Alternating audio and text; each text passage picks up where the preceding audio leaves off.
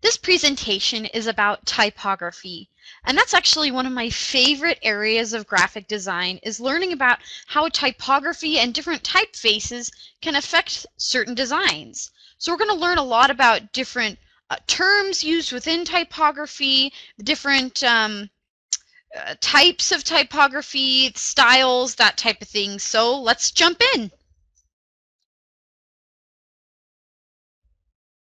So what really is typography? Is typography a font? Is a typeface typography? Is a font a typeface? I mean, what is that? Typography is the process and art of arranging type on a page. And I think that's really important to remember that typography is not only a process, but it's an art as well. Um, one that you could take an entire class on. You could take a whole semester's worth of a typography class and still not learn all there is to know about typography trends and that type of thing. So as you can see on this um, paper right here, it's just uh, how type is arranged on a page.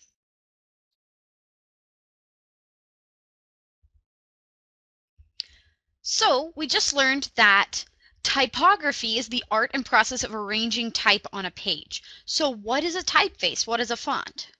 Well, typefaces are distinctive designs of visual symbols that are used to compose a printed image, also known as fonts. So lots of different fonts you have on your computer are also typefaces. The terms can be used interchangeably. Now, a typographer is someone who designs typefaces. Have you ever wanted to have um, like a font of your own handwriting so that you could, you know, type it up and it looks like you wrote it. Oh, I know I have. And um, if I really made that font, I would be a typographer. And there's lots of different typographers on the internet who just design typefaces and fonts for fun, and then they post them online and you can download them for free. So this image on this slide is just an example of a typeface. Okay, next slide. Okay, so we know typography, we know typefaces, we know fonts. What are type styles and type families? Well, they're kind of just more specific versions of these things. Each, we're kind of getting more specific each time we go on to the next slide. A type style is like um, a bold version of the font, an italics, an extended, or a condensed version. And a type family is a group of type styles based on one typeface. So if you look at this example here on the picture, Franklin Gothic, it has um, a heavy, a medium, a condensed version, that type of thing. So it's a group of type styles that are all bundled together in one happy little family. But each one of those, like just Franklin Gothic book, that is just a type style. Franklin Gothic Medium, that is just a type style. But all of them grouped together belong to the same type family.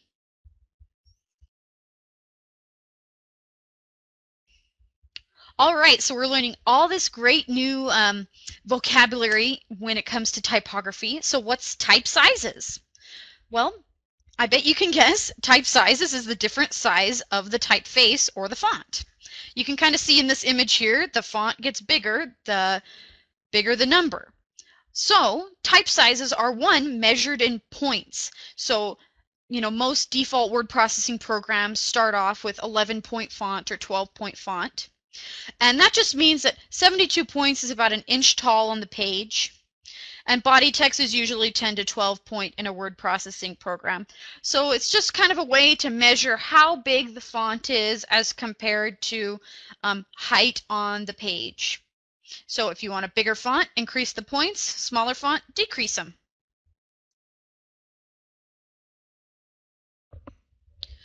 So the weight of a font or typeface is really what is called the thickness of the outline of a letter. So as you can see here in these two examples, you've got this one font on the top left, and then you've kind of got it a little bit bolder down here on the bottom right. So that weight is said to be heavier than the one that is just regular. So as the lines around the font get bigger, the thickness increases and therefore the weight increases. So just pressing bold sometimes isn't all that you can do. You can add what's called an outline around it in certain graphic programs that will just add a, it will keep adding lines, points of thickness to the font until it gets really big and thick and then it would be really heavy.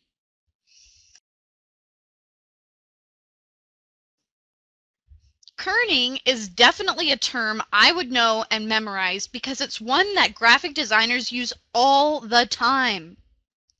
Kerning is the space between two letters. So take a look at this picture here. We've got an F next to an I. See on the on the left, the F is scooted closer to the I, and on the right, it's kind of scooted a little bit to the left of the I.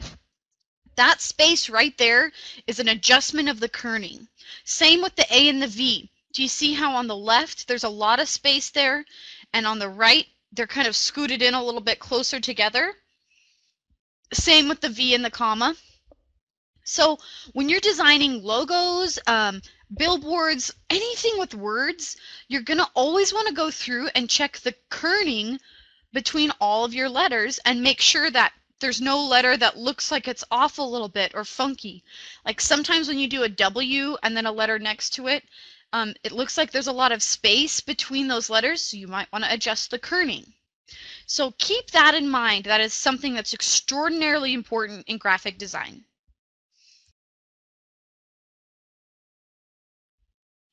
So we just learned that kerning is the space between two individual letters. Leading is the vertical space between lines of type. And this is also a really good one for graphic designers to learn because you will be adjusting the leading when you have um, multiple lines of type. So take a look at this example here. Um, the top one, do you see like lorem ipsum dolor sit amet consuetur whatever. But do you see the space between lorem and consuetur? And you go to the next example on the space between lorem and consuetur on the bottom one. The bottom one has more leading than the top one. So that's something you can adjust in your designs to kind of maybe make things easier to read or fill up a space better, that type of thing. So make sure you know the difference between kerning and leading.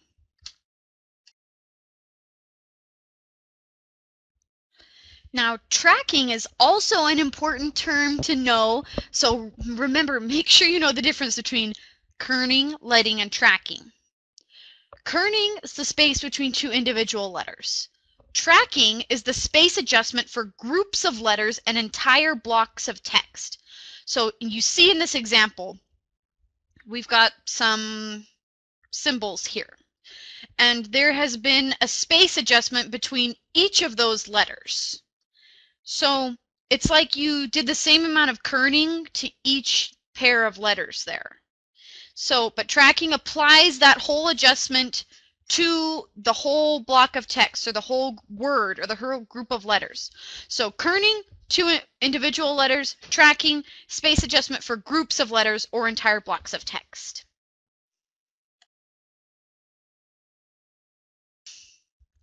Now, line length is something that you as a designer will definitely want to keep in mind during your designs of, of or at least of using words in your designs.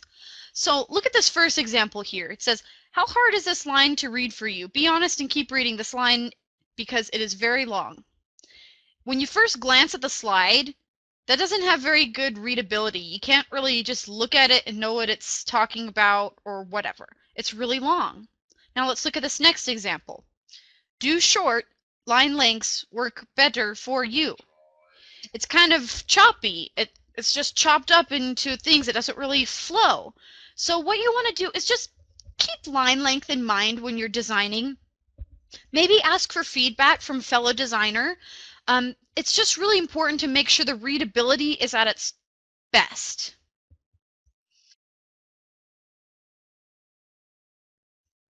So we've learned a lot of different vocabulary that's associated with typography. Now let's look at the five type categories that fonts and typefaces are sorted into. Those categories are serif, sans serif, square serifs, script, or decorative. Let's look at examples of each one. And this is definitely something I would remember because you might be asked sometime, what type category does this font fall into? And you'll need to say, oh, that's a sans serif font. Or maybe later when you're designing something, I'll say, oh, try it with a serif font. Try adding serifs. Maybe that would make it look more professional or something. And you want to you want to know what I'm talking about. So make sure you remember these. So the first category is serifs, and it's nice to know that Romans invented serifs, so this type of font has been around an extremely long time. You can tell when a font has serifs if it has these little things poking off of the ends of the font.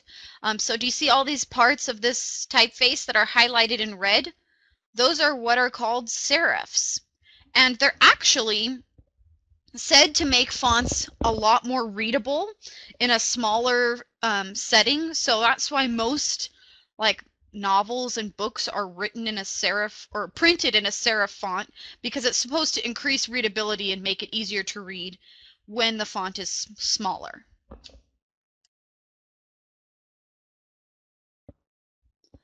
So this type of font is called a sans serif, and I like to remember it because sans means without, and so when I get confused um, between serifs and sans serif, because I don't know, sometimes I just forget which one is which, I remember that sans means without, and so I look at uh, fonts or typefaces like this, and I don't see any little um, bitty uh, flared things at the end of the font, so I know that this is a sans serif instead of a serif.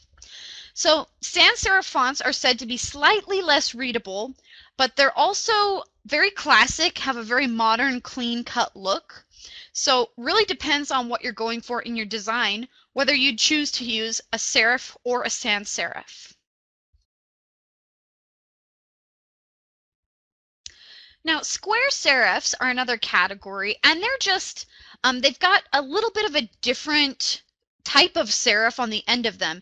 As you can see, well, I mean, you kind of have to look in real close on this example here, but the bottoms of the letters or the tops or wherever the serif is doesn't really flare out. It appears to have a slab-shaped serif, so more like a straight line as a serif or, you know, like a little rectangle or something you know, as opposed to the little rounded out thing. And this was a very popular font in the 1800s, so you'll see uh, square serifs on lots of old antique things, um, printed memorabilia, that type of stuff.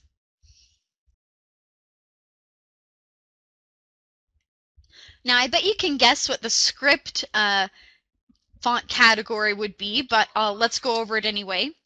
A script font would be modeled after handwriting. It often includes flourishes and they're often really hard to read. That's why you probably wouldn't see um, a script font like a novel being printed in a script font. But you would might see a logo and they're often, you know, denote fanciness, um, uh, flourishes, you know, elegance, over the topness. So you might want to use a script font when you're going for that type of feel for a company and a logo, that type of thing.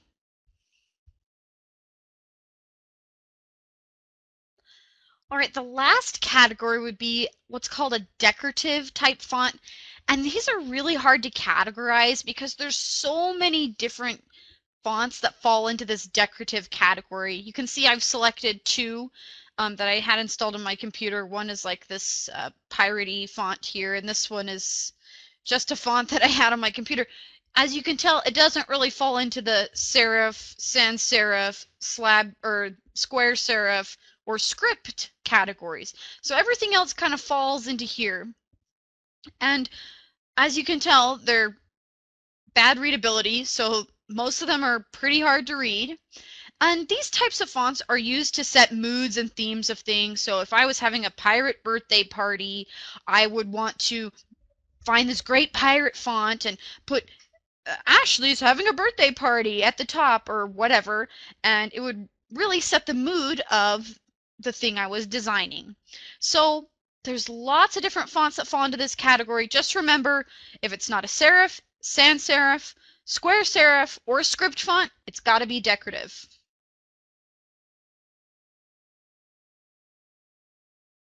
All right, so the last thing I just want to touch on really quick in regards to typography is type alignment.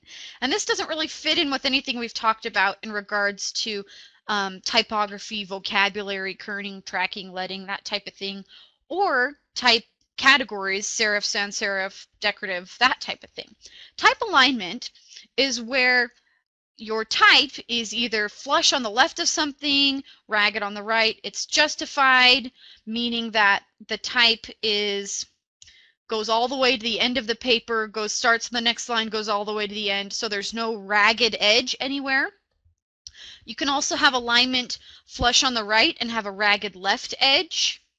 You can center your type alignment, and you can also have asymmetrical type alignment, which is where lines are composed with asymmetrical balance, not conforming to a set arrangement. So if I had a, you know, a, I had the type kind of making a shape of a flower or something, that's not really flush left, flush right, or centered. It's kind of an asymmetrical alignment. So alignment, again, is just where the type is next to a margin on the page. Well, that's it for this typography slideshow.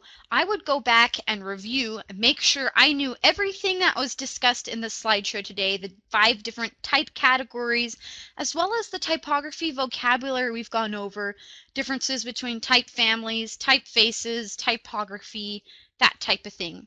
And as always, if you have any questions, come to your instructor and I will be more than happy to assist you.